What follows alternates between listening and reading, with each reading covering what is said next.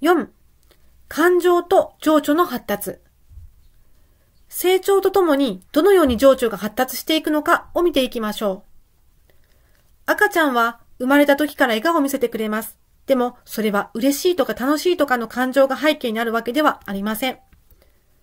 それは、新生児微笑といって本能的な笑みなのです。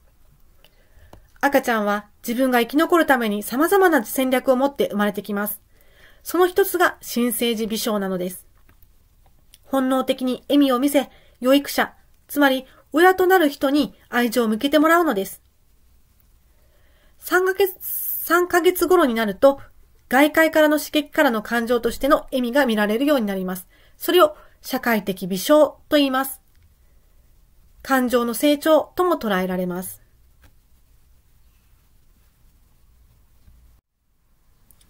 その後、赤ん坊はいろんな感情を発達させていきます。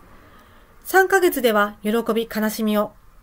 4から6ヶ月では怒りを。6ヶ月からは驚きを。6から8ヶ月頃では恐れを。9ヶ月になると自分の信頼する人の表情や態度から安心したり警戒したような表情を見せるようになります。9ヶ月から1歳近くになると自分の信頼する人の表情や態度から自分の取るべき行動を見極めるようになります。どれくらい人の表情を見極めて自分の行動に反映させているのか、それを見る実験が行われました。それが社会的参照の視覚的断崖実験です。赤ん坊を右図のようなガラスの机の上に座らせます。机の向こう側、左側にはお母さんに立ってもらいます。赤ん坊が机の半分まで行くと、下がガラスで透けていて断崖絶壁に見えます。この時期の赤ん坊はすでに怖いという感情を持っており、自分の身は自分で守らなければならないことを知っているので、断崖が見えるとそこから動かなくなります。しかし、向こうに見えるお母さんが笑顔で、おいでおいでって言うと、赤ん坊は落っこちそうで怖いけど、でも信頼するお母さんがおいでって言うならきっと大丈夫なんだと思って、はいはいして歩いていくのです。でも、お母さんがむっとして、来てはいけない、危ないという表情をしていると、お母さんのところに行けたい、行きたいけれど行けない、行ってはいけないのだと思って、そこで止まって待ちます。1歳頃になると、社会的参照といって、他者の行動を自分の行動に反映させることができます。それを示した実験を紹介しました。感情、情緒はいかにして発達していくものなのでしょうか様々な学者がいろんな説を唱えています。それを紹介していきましょう。まずは、ハリー・スタック・サリバン。サリバンは、感情は言葉だけでなく、肌で感じることができる。肌の触れ合いを通じてもやり取りしているのだと考えました。サリバンの考えの正しさをこの事例が証明してくれています。今は推奨されていないのですが、カンガルー療法です。カンガルーの赤ん坊は生まれた時は体長2センチ、体重は1グラムしかありません。それなのに160センチ、体重は85キロほども大きくなるのですから、本当に驚きです。なぜそんな 1g の赤ちゃんがそれほど大きくなれるのか。それはお母さんのポッケで抱かれているからなのです。このお母さんに抱かれて育てられるというところからカンガルー療法と命名されたのですが、こんな実話があります。1970年代、南米のコロンビアでは保育器が不足していました。小さく生まれた赤ちゃんは無菌で温度が一定に保たれた保育器で心拍数や体調が安定するまではいた方が良いとされるのですが、十分な数の保育器が確保できていませんでした。しかし、低体重の小さな赤ちゃんが次々生まれてきます。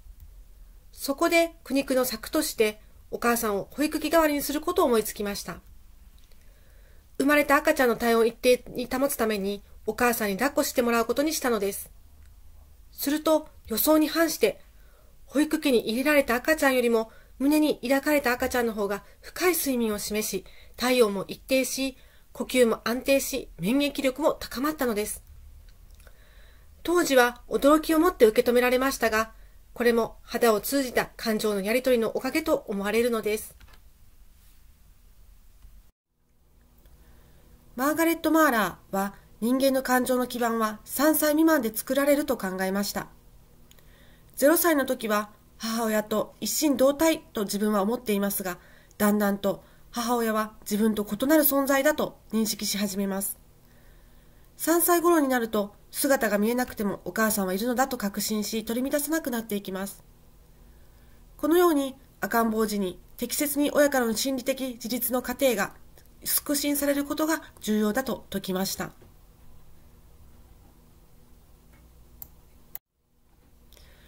ジョン・ボールビー。この方はイギリス出身の医学者、精神科医、精神分析学者です。彼は人間には性の本能、死の本能、愛着の本能があると考えました。乳児期に大切なのは3番目の愛着の本能を満たしてやることだと考えました。この考えに至った背景を説明します。1950年代第二次世界大戦後のイタリアでは乳児院などに収容された戦争孤児の発達の悪さ、死亡率、適応不良の多さなどが問題になっていました。その時、調査に当たったボールビーは、ある乳児院では死亡率が低いことに気がつきました。そこに共通していたのは、世話をする人が赤ん坊を抱いたりあやしたりという温かな関係を築いているということでした。それができているところは死亡率が他の乳児院と比べ低かったのです。愛着の本能を満たされることにより、抵抗力や免疫を上げたと考えたのでした。以降、母性的養育、信頼と愛着の関係を築くことが重要としたアタッチメントの形成が幼少期に重要と提唱しました。ロバート・エムディは生後1歳半から2歳まで人を信頼する感情や social referencing、信頼できる人との関係の中で子供が社会のルールや適切な行動を身につけていくことを指します。が、こういったことが最もよく育つと言いました。この時期の感情のキャッチボールが十分にできていることが、その後のやる気の基盤になり、適切な感情表現や社会的ルールを守る力を育むと説明しました。以上のように幼少期からのしっかりした気持ちのやり取りが重要ということは重ねて説明されてきました。しかし、幼少期にその関係が築けなかったからといって致命的になるわけではありません。その後に信頼できる関係性を構築できれば、いつからでも心は育っていきます。IQ という言葉は聞いたことがあると思いますが、もう一つ EQ というのがあります。EQ、それは心の知能指数です。自己や他者の感情を知覚し、また自分の感情をコントロールする知能など、総合的な感情指数です。人間は他者の気持ちや考えなどをある程度尊重したり、汲み取ったりしながら助け合って生活しています。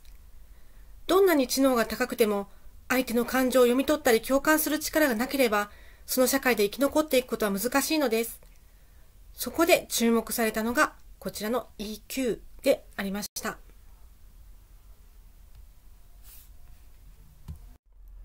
自分の EQ の高さはどれくらいなのかを知りたいと思います。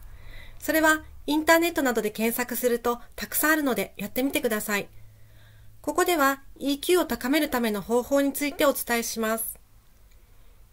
EQ を高めるためには1番、自分の感情を知る。自分の気持ちは一体何なのか、何を思っているのか、冷静につかみましょう。2番、自分の感情をコントロールする。感情に飲み込まれてしまうっていうことは日常的に多々あることですが、そうなると客観的に状況把握ができなくなります。自分の気持ちを整理しましょう。3、物事を楽観的に考える。人間はとかく不安になりがちで、起こりもしないことを起こったらどうしようと言って不安があるものです。マイナスばかりに考えず、なるようになるさ、と捉えてみましょう。4番、相手の感情を知る。表情や行動で相手の感情を知ります。5番、対人関係をうまく処理する。上記の4つができていれば、対人関係も比較的スムーズに構築することができます。これらのことはトレーニングでもできますので、まず自分の感情を知ろう、相手の感情を知ろう、冷静になってみようと意識することが大切ですね。日本人は文化的に特に EQ が高いと言われています。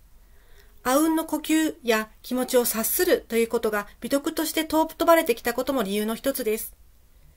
絵と写真の人物、誰かわかりますか？左側から豊臣秀吉、徳川家康、田中角栄です。彼らに共通するものは何でしょう？それは社会的な立場としては決して恵まれたものではなかったけれども、人心掌握術に長けていたこと、つまり EQ が並外れて高かったということです。その能力を活かし、各3人とも日本のトップへと駆け上がりました。最後に、知と情の関連性について言及します。知能の高い人は共感性が低いといった偏見がありますが、それは正しくありません。心理学的に見て、知と情は相反するものではないのです。知と情の両方が揃っていなければ能力は発揮できません。知と情はどちらも重要なのです。